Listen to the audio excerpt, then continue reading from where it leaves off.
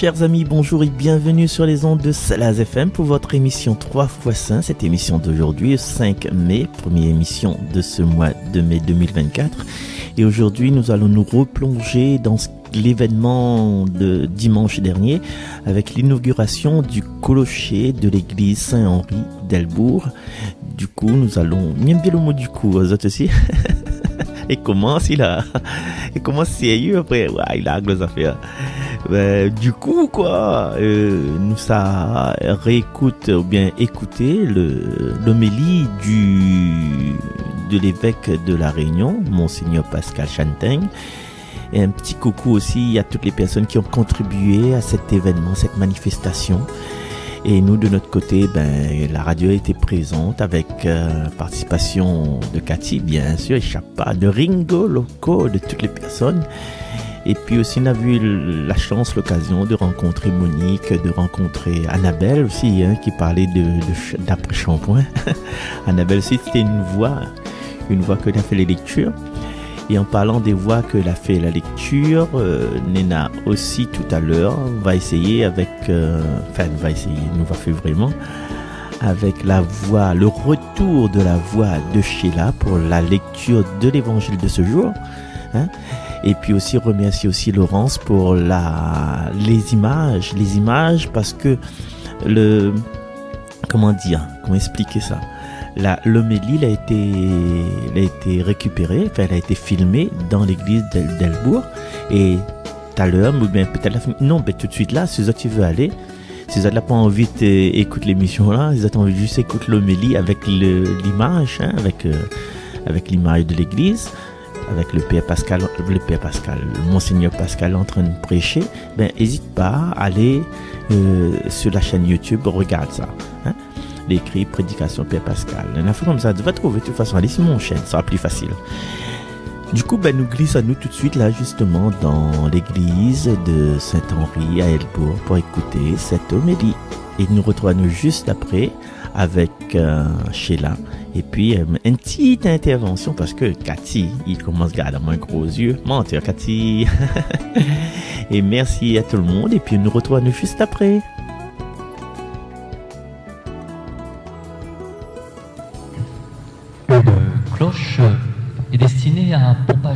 Un son. Quel son C'est-à-dire quelle bonne nouvelle c'est à la fois pour rythmer, surtout autrefois lorsqu'il n'y avait pas de montre, rythmer une journée, et d'un point de vue contenu, c'est pour propager ce qu'on appelle une bonne nouvelle.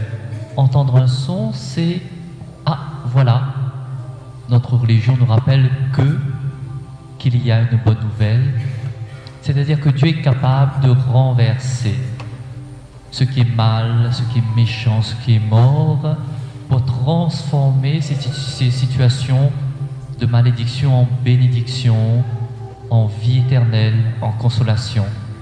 C'est cela la fonction d'une cloche et le contenu, le résumé de toute notre religion.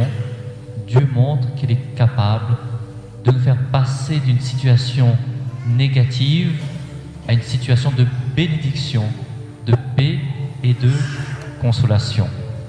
C'est ce qu'on appelle la résurrection. Voilà pourquoi la fête de Pâques est tellement importante. Et je vais l'illustrer avec la première lecture aujourd'hui, un récit qui peut nous apporter une méditation, une expérience de vie. Donc je vais me concentrer plutôt sur la première lecture et ensuite l'illustrer avec un livre, l'extrait d'un petit livre qui s'appelle un consultant chez les religieuses. Dans la première lecture d'aujourd'hui, on parle de la grande et belle aventure des premiers chrétiens, la belle aventure du christianisme à travers deux hommes, Saul et Barnabé. Et nous allons voir comment Dieu sauve. Si nous avons un petit souvenir, Saul, c'était quelqu'un de méchant. Mais sincère dans ses convictions, c'est-à-dire un juif qui croit en Dieu et qui n'aime pas les, ces nouveaux croyants, ces nouveaux fidèles qu'on appellera les chrétiens, les catholiques. Pour eux, pour lui, Paul, ces nouveaux croyants sont des traîtres à la religion, il faut les éliminer. Et les actes des apôtres racontent comment Paul eh avait accepté de garder et de tenir les vêtements de certaines personnes qui avaient choisi de tuer à coups de galet un jeune chrétien qui s'appelait Étienne. Et Paul ira ensuite plus loin en allant aider la police à fouiller les maisons pour débusquer les chrétiens qui s'étaient cachés. Voilà qu'il continue sa mission de police en allant vers cette ville de Syrie qui s'appelle Damas. Et Jésus le renverse de son cheval. C'est-à-dire, Jésus lui apparaît et lui demande, Paul, pourquoi me persécutes-tu? Et c'est un virage dans sa vie puisqu'il a la foi maintenant, il se convertit. Et de méchant persécuteur, il va devenir croyant chrétien. Cela va poser un double problème pour lui. Un, il sera considéré comme un traître de par ses compatriotes juifs, traître à sa religion. Et deuxièmement, les chrétiens ne vont pas facilement le fréquenter. Ils ne sont pas fous. Quelqu'un qui a été méchant avec vous, on ne va pas coster, coster facilement avec cette personne. Et la lecture d'aujourd'hui le mentionne clairement. Saul cherchait à se, joindre aux disciples de Jésus, mais tous avaient peur de lui. Donc c'est un homme isolé, marginalisé. Même s'il a trouvé un nouveau sens dans sa vie, il est seul. Et c'est là où va surgir un deuxième homme merveilleux dans sa vocation et dans sa fonction, Barnabé. Son vrai nom est Joseph et son petit nom c'est Barnabé, qu'on appelle l'homme du réconfort et de la, la consolation. C'est aussi un juif. Qu'est-ce qu'il va faire Barnabé? Il va introduire Paul dans le groupe des disciples de Jésus. Il va servir de médiateur, de facilitateur entre un homme et un groupe, afin que Paul ne reste plus solitaire. C'est-à-dire que Barnabé a senti, il y a un mot précis pour cela, il a discerné que Paul est devenu quelqu'un de bon. Et comment c'est possible? Et c'est là où cela nous intéresse. Comment faire un bon choix dans la vie? Comment prendre de bonnes décisions? Barnabé nous montre l'exemple et on va essayer d'imaginer. Comment Barnabé a-t-il accepté eh bien, de s'approcher de Paul? Sûrement, il y a eu dit la fait, les gens ont causé sur la conversion de Paul. Comment ça se fait qu'il devienne chrétien donc on entend. Barnabé enquête. Et Barnabé est aussi en contact avec les chrétiens qu'on appelle de Syrie. Il a peut-être été en contact avec les gens qui ont accueilli Paul à Damas, la capitale de Syrie, puisque après sa conversion, Paul a habité chez un homme précis qui s'appelle Anani. Peut-être que Barnabé a enquêté et nous avons une piste sérieuse, car la première lecture le dit. Barnabé raconta aux autres disciples de Jésus comment à Damas, Paul s'était exprimé avec assurance au nom de Jésus. Voilà donc la méthode de discernement, d'apprentissage du bon choix. On va travailler, enquêter, faire une analyse un mot actuel, c'est faire un audit. le discernement commence par une activité où je m'implique. Autrement dit, parfois quand on a un choix à faire dans la vie, on aurait tendance à dire Mais Seigneur, qu'est-ce que je dois faire? Donne-moi un signe. Une méthode issue de notre expérience spirituelle chrétienne, c'est de commencer à utiliser sa propre intelligence pour analyser, étudier, établir ce qu'on appelle un jugement. Et après avoir ramassé les faits, les informations, eh bien, on dégage une piste. Tiens, voilà ce qui semble être praticable comme solution. Et c'est seulement dans un deuxième temps qu'on porte cette solution entre les mains de Dieu. On ne brûle pas les étapes. On ne fait pas intervenir Dieu tout de suite en disant Seigneur, qu'est-ce que je dois faire? Non.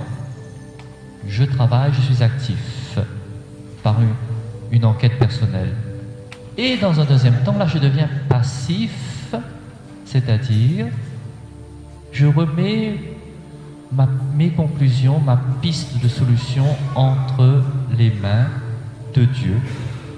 J'essaye de lâcher prise afin d'écouter ce que la voix de Dieu peut parler au cœur. Et dans la prière, puisqu'il s'agit de prière, je peux aussi sentir ce qui se passe dans mon, dans mon âme, dans mes émotions, mes sentiments. Je suis tracassé, je suis en paix.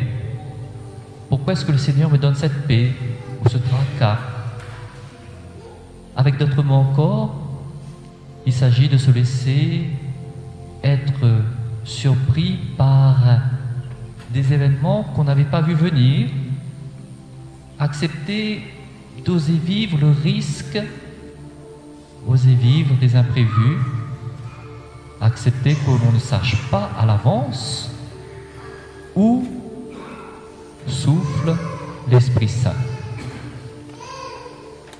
Pour comprendre la méthode et l'attitude de Barnabé, qui est à l'écoute des événements du monde, de la société et de Dieu, et qui permettra aussi d'intégrer Paul, je choisis pour vous un livre le titre ne m'avait pas du tout attiré, un consultant chez les religieuses.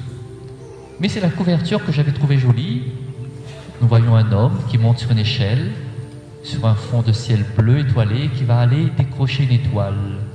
Et cette couverture qui m'a attiré, et je n'ai pas du tout regretté d'avoir acheté ce livre, je vous donne le résumé et ensuite un extrait de Mathieu Dôme. Il a publié donc sa biographie aux éditions Salvatore en l'an 2020. Comment Dieu sauve dans une situation précaire, fragile? Mathieu Dôme est ce qu'on appelle un consultant, un professionnel qui, vend ses conseils pour des entreprises et des institutions depuis 20 ans. Un jour, de manière inattendue, ce ne sont pas des entreprises que le contactent, mais des religieuses qui connaissent un grave problème interne. Et non sans difficulté, Matthieu trouve une solution. Après ce succès, d'autres religieux et religieuses font appel à lui pour les accompagner dans une transformation structurelle, institutionnelle. Au fil du temps, il élabore une, il élabore une méthode spécifique pour les aider à se renouveler. Car travailler pour l'Église, ce n'est pas comme pour une entreprise. il découvre que lui, professionnel, tout en guidant le client, l'autre, lui aussi doit accepter d'être guidé par l'autre et ne pas tout contrôler d'avance. Et dans ce processus, une transformation arrive de manière subtile et imprévue Matthieu retrouve la foi. Il raconte aussi donc sa propre conversion, notamment à travers l'épisode suivant. Dans la vie, il y a parfois un mal pour un bien, une occasion ratée qui devient plus tard une réussite. Matthieu reçoit la promesse d'accéder à un poste important devenir le président d'une fondation prestigieuse en Belgique.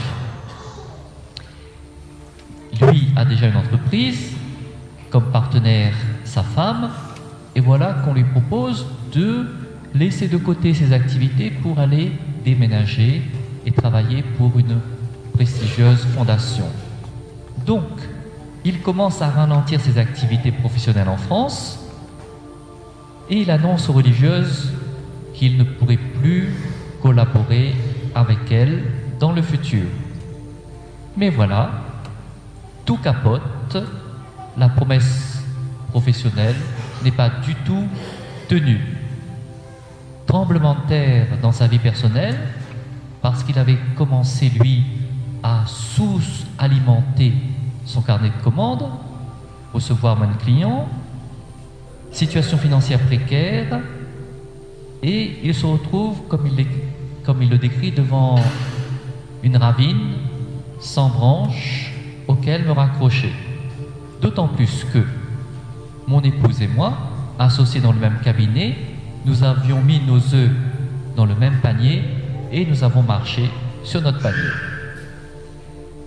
C'est là où l'expérience avec les religieuses m'a servi. Je venais de passer cinq ans avec elles pour les aider à éviter de réagir trop rapidement, mais de plonger plus en profondeur en elles-mêmes, mieux découvrir leurs intentions, leur identité, ce à quoi Dieu les appelait.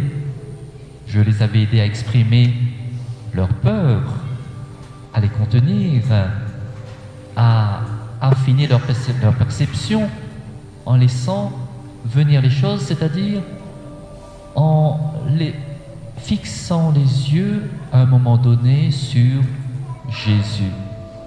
Je veux quelque chose, mais qu'est-ce que Dieu veut, désire lui aussi Il s'agissait de ne pas céder au doute, ne pas douter de leur capacité à marcher sur les eaux tumultueuses.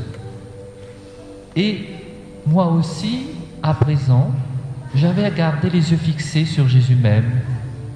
Je n'avais aucune idée de ce que cela pouvait impliquer concrètement, mais une évidence s'est imposée avec ma femme alors que nous marchions dans la forêt de Fontainebleau.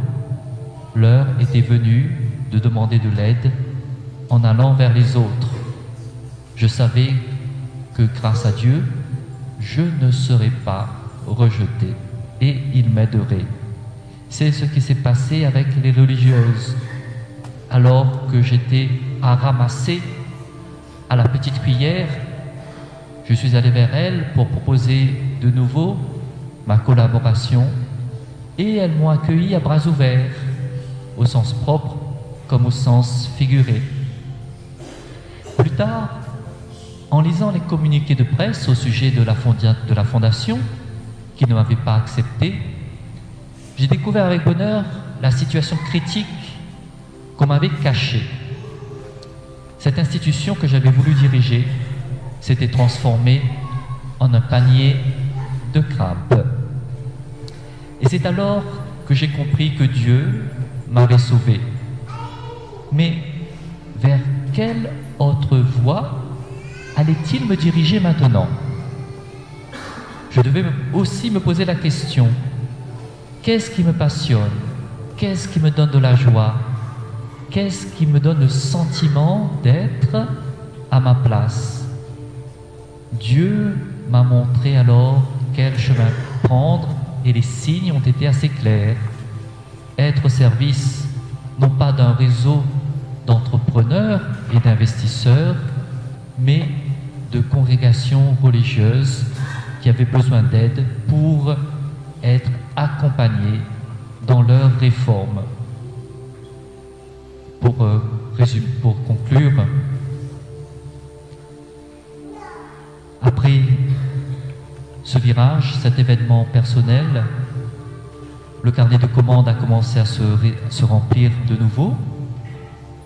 Le désert a commencé à refleurir et nous pouvions regarder l'avenir avec optimisme.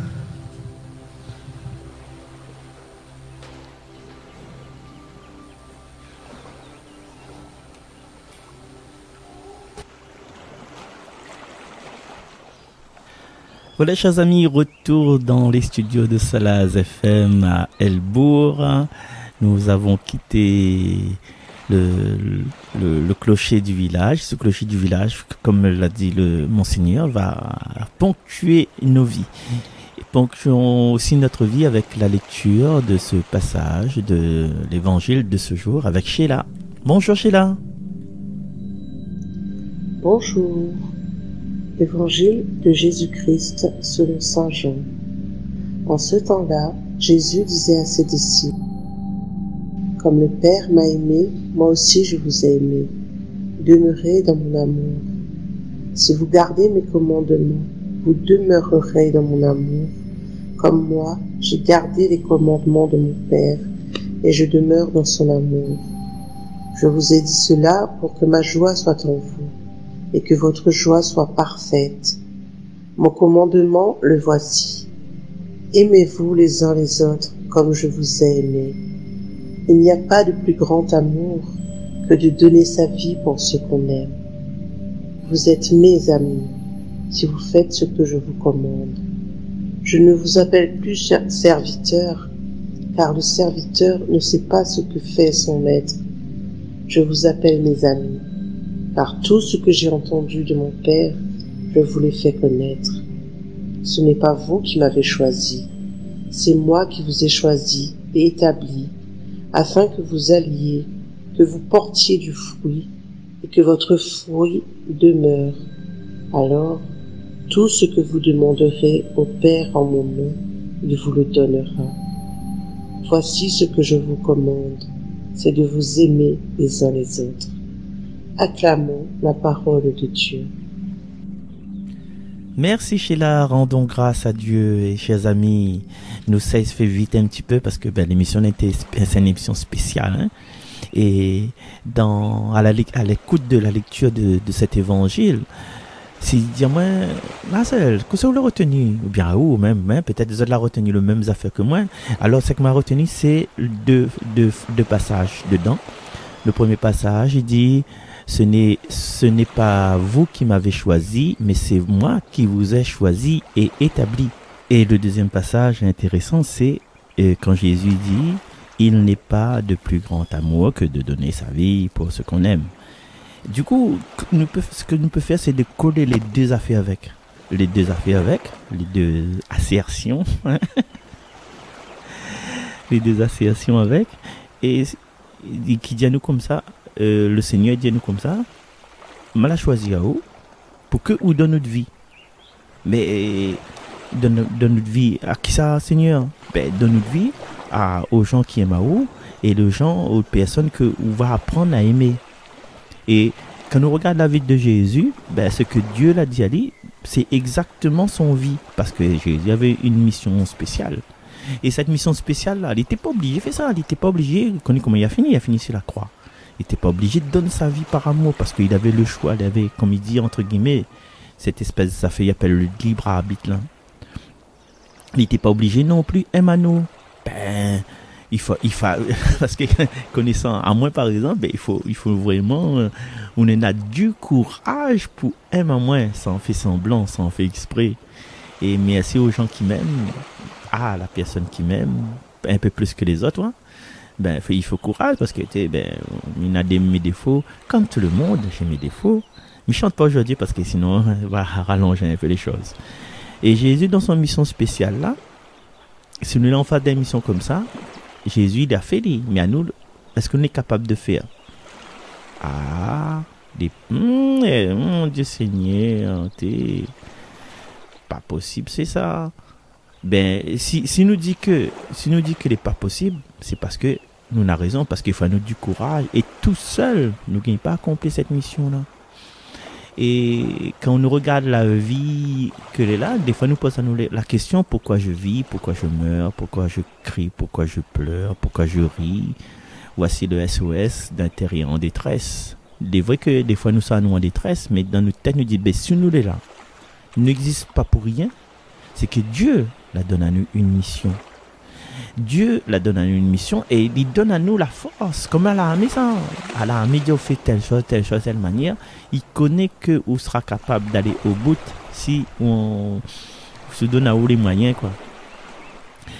Et, comme il disait dans les premiers temps, quand, quand on a cette mission, il arrive devant nous, il dit, mais gagne pas, moi, nous n'est pas capable, bravo, oui, on a raison, on n'est pas capable, parce que on a besoin, le, la force, mon Dieu. Et nana ça aussi, ouais, nana, pas capable, bien, nous connaissons ça, nous. T'es, ben, Seigneur, à cause on voit pas l'autre, l'autre qui fait ça, l'autre l'habitude fait ça, l'autre n'a les moyens, n'a la capacité, l'autre la partie l'école pour faire ça. Pourquoi la choisir moi? Pourquoi la choisir moi faire lecture Pourquoi choisir moi faire cette émission là, Seigneur Demande un tel, un tel est meilleur que moi, il a, il a son famille, il a parti grande école. Ben, à moi, mon famille tombe dans l'alcool. bah, son famille est plus fitée. Mais non, Dieu, si, Dieu l'a choisi c'est que il a confiance en vous. Voilà. Et puis, chers amis, nous connaissons, nous l'avons grandi, nous avons une vie, nous avons des enfants. Euh, l'enfant nous a été donné. Et des fois, à nous en tant que maman, papa, Azodi, ça c'est nous des voix. À un moment donné, dans notre maternité, ben dans notre paternité, nous avons l'impression que, oui, nous n'est pas à la hauteur. Tu sais comment ça a fait. Il a 16 ans, est enceinte. Moi, il est comme ça. ici, ça, c'est ça, il dit pas le, le finance. Il dit, tu l'attendais Il est comme ça. Il dit, ah bon, qui le papa? Ah, il est comme ça. Ben, nous, nous, là, nous, nous, à un moment donné, nous, nous perdons les pédales. Nous perdons les pédales parce que, que ça nous a fait avec notre gros ventre. Que ça nous a fait à, à cet âge-là. Nous obligés de quitter l'école, nous obligés case à nous avec le boug. Est-ce qu'il va bien se passer? Au départ, il se passe bien même, hein, connais, au départ voilà, je te love, tu me kiffes, euh, les yeux dans les yeux. Et à un moment donné, c'est. Euh, comment on appelle ça Quand on est enfermé là? Vous les séquestrer, vous les séquestrer. Faut pas faire ceci, faut pas faire cela, faut pas mettre, faut pas mettre tresse. Garde le zip zip pas trop, trop haut là, hein? Voilà. Tout ça qui a été donné, l'enfant qui nous a été confié, c'est pas un hasard. Parce que l'enfant, il a besoin de vivre. C'est pas un hasard. C'est Dieu l'a choisi à nous. Et dans la foi, nous, nous les sûrs que Dieu l'a choisi à nous pour être parents de cet enfant. Et pourquoi nous les parents de cet enfant? C'est pour que cet enfant-là, cette fille, ou bien ce gars, ben, à un moment donné, il épanoui à lui. Mais il va pas prendre les mêmes chemins que les autres. Et en fin de compte, les autres, là, c'est des grands spécialistes. Hein. Oui, vous l'avez vu le garçon comme il est, il reste enfermé, bien il sort pas du tout. Regarde comment il est habillé, regarde il met il traite dans ses cheveux. Ça, c'est les autres qui disent ça. Mais au fond de nous-mêmes, on connaît maman, il va aller où ça il doit aller avec les moyens que Dieu lui donne à lui avec son talent. Il y a des choses que nous voulons essayer de faire comme les autres. Et quand nous ne fait pas comme lui. Et les parents ils causent, chérie, ben, Ali est parti en France, ben, à cause nous ne ramasse pas l'argent pour envoyer un tel en France. Un tel, c'est la fille hein, ou bien le garçon. Ça, chacun son chemin. Chacun son chemin. Et des fois, nous, sommes un peu désespérés, à nous, hein, créoles, enfin, à nous, créoles, dans notre famille, quand nous voit les autres y réussissent, enfin, avec notre référence, les autres, la gagnent un bac, ah, la gagne BTS, la gagne master, la gagne doctorat, il a réussi, hein? Ben, et dans, dans ces moments-là où ça nous, à nous, nos enfants, la reste au niveau troisième, ben nous dit, l'autre l'a réussi, les notes là, même point, même pas brevet aujourd'hui, pas de brevet blanc chez nous, à l'époque, à l'heure où ça m'enregistre. Hein. Comment il fait Comment il fait lire à la pointe Et du coup, nous pensons que, nous croyons bien que l'autre réussit, mais finalement, avec son doctorat, il est malheureux parce que la force aller pour faire des études, l'a dépensé, l'a saigné à blanc pour faire des études. Et il a tellement saigné à blanc que le gars là, il connaît pas que c'est un match football, il a jamais gardé.